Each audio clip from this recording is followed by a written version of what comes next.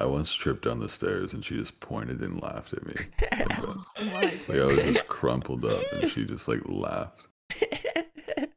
Okay, oh wait, I would never. I don't do physical pain. well, like you America's funniest pain. pain. America's funniest home videos or people just slip on ice for like 30 minutes straight. I don't fuck with that. It, it doesn't make me laugh. I get terrified. Then why did you? Wow. Why'd you trip him? Maybe because it was funny to see you crumpled up.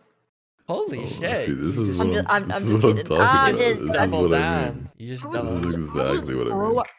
I was literally kidding, bro. Dude, I have deodorant that smells like fucking birthday cake, and it's like the weirdest deodorant I've ever used in my life. Like I just smell like birthday